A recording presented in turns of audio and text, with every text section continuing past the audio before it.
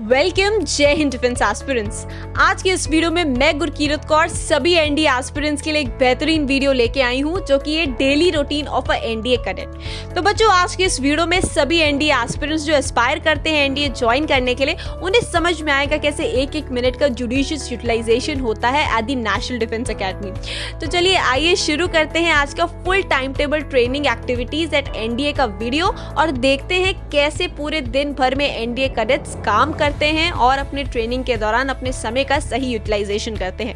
तो एक NDA cadet के दिन की शुरुआत सुबह चार बजे से ही हो जाती है, क्योंकि चार से छह के बीच में उसे लगभग रेडी हो जाना होता है अपने मॉर्निंग ड्रिल या फिर जिसको पीटी बोलते हैं।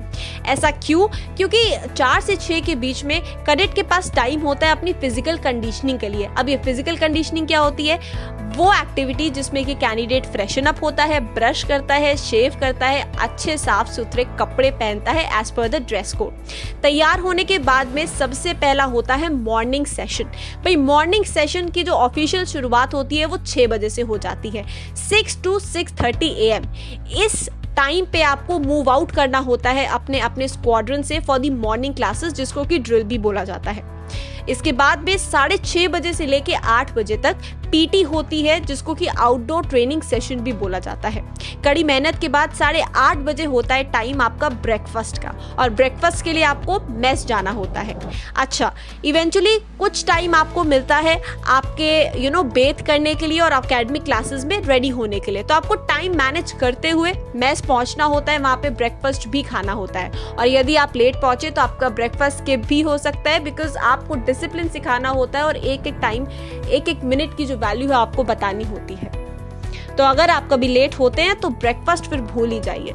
उसके बाद में नौ बजे से लेके एक बजे तक आपके चलते हैं अकेडमिक क्लासेस अब जैसे कि मैंने अपनी पिछली वीडियोस में बताया था कि एनडीए ज्वाइन करने के बाद में क्या करते हैं? भाई, पढ़ाई भी तो करते हैं ना बीएससी या फिर बीटेक जो भी कोर्सेज होते हैं आपके तो उसकी पढ़ाई होती है और आपके कितने पीरियड्स होते हैं? सिक्स पीरियड्स होते हैं। और सबसे अमेजिंग बात पता है क्या है? आपका हर क्लास जो है, हर पीरियड जो है, वो अलग अलग हॉल्स में होता है। तो हर पीरियड के बाद में आपको हॉल चेंज करना होता है।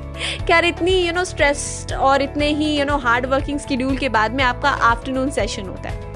अब आफ्टरनून सेशन में बेसिकली डेढ़ बजे आपका लंच टाइम होता है। After keeping the heads down for the long duration of the study आपको कुछ यू you नो know, समय दिया जाता है अपना खाना खाने का। खाना खा लेते हैं उसके बाद में तीन बजे से लेके छः बजे तक। अब इस ड्यूरेशन में हर कैडेट वेट करता है। क्यों? क्योंकि पूरे दिन भर में ये गेम्स टाइम होता है। अब यहाँ पे आप फुटबॉल बास्केटबॉल हॉकी वॉलीबॉल जो भी कंपटीशन उस समय होना होता है उसके अकॉर्डिंग आप गेम्स प्ले करते हैं। In addition to it cross country की प्रैक्टिसेस कराई जाती हैं पीटी होती है या फिर स्विमिंग होता है, यदि अगर कैडेट स्विमिंग में वीक होता है तो इस तरीके से कोई भी एक्टिविटीज़ जो कि गेम से रिलेटेड होती है, वो कराई जाती हैं। अब इसके बाद में होता है आपका इवनिंग सेशन इवनिंग सेशन में साढ़े छः बजे से लेकर आठ बजे तक अगेन आपको कुछ टाइम दिया जाता है, जिसमें आप स्टडी करें, अपना हाथ धो लें, फिर से अच्छे से कपड़े पहन लें और प्रॉपर तरीके से रेडी रहे। आठ से साढ़े आठ बजे तक होता है आपका time of orders fall in the form of C S M that is cadet squadron major not a very enjoyable half an hour because इसमें क्या होता है, जो सी एस एम होते हैं ना, वो आपके ऊपर शाउट करेंगे, कुछ पनिशमेंट्स देंगे ऑर्डर्स पार्ट करेंगे। बट थिंग इज़ कि इसको आपको पॉजिटिवली लेना बिकॉज़ अपनी यू नो मिस्टेक्स से आप रियलाइज़ करते हैं। मिस्टेक्स होती हैं तो आप उसके लिए पनिशमेंट खाते हैं रियलाइज़ करते हैं और स्ट्रॉन्ग और टफ इंडिविजुअल बनते हैं। साढ़े आठ से लेके आठ पचास this is the time for dinner fastest and the most unpleasant meal of the day बीस मिनट में डिनर कंप्लीट करना होता है। देख लीजिए भाई आप। The time when a cadet gets third term over studies teachers individual to use a fork and spoon and other assorted table manners जी हाँ जब तक आप अपना थर्ड टर्म कंप्लीट करते हैं ना, तब तक आपको वेरियस अच्छे अच्छे इक्विपमेंट्स यूज़ करना आ जाता है। बट एटलीस्ट कैडेट जो होते हैं, उनका बहुत ही हेक्टिक स्कीड्यूल होता ही होता है। और उसके बाद जब कुछ खाने के लिए मिल जाता है ना तो बहुत ही आनंद आता है। इसके बाद नौ बजे से लेकर दस बजे तक। नौ नौ से दस again it is time for some physical activities PTs और गेम्स जो कि अनऑफिशियल होते हैं। दे जो सीनियर्स होते हैं ना, वो कभी थकते नहीं है और वो अपने जूनियर्स को हमेशा थकाते हैं, ये आप समझ लीजिए। ठीक है? सिटअप्स होती हैं जो कि एक्सट्रीमली अनप्लेजेंट होती हैं but it's okay that's all the part of the training अब बच जाते हैं आपके दस। दस बजे होता है लाइट्स आउट का टाइम और दस बजे वो टाइम जब आप रिलैक्स करते हैं पूरे दिन की रेस्टलेस एक्टिविटीज़ के बाद में। क्या इस टाइम पे अगर आपने कुछ पूरे सुबह से लेकर शाम तक कुछ भी गलती की होती है ना तो रगड़ा पट्टी भी मिल जाता है। But this was the whole schedule of the National Defence Academy daily routine का।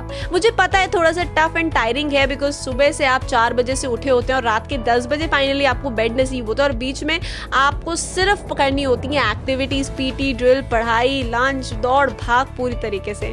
But I would suggest you one thing कि once you are there at the institute ना you will be enjoying these days so take all these on a positive note बहुत मज़ा आने वाला है आपके आगे की करियर जर्नी में।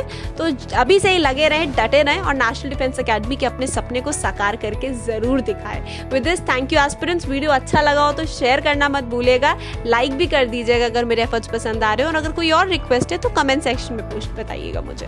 थैंक यू एस्पिरेंट्स जय हिंद अगर आपने सेंचुरियन डिफेंस अकेडमी के यूट्यूब चैनल को सब्सक्राइब नहीं किया है तो अभी सब्सक्राइब करें और बेल आइकन दबाएँ ताकि लेटेस्ट नोटिफिकेशंस आपके पास सबसे पहले पहुँचे।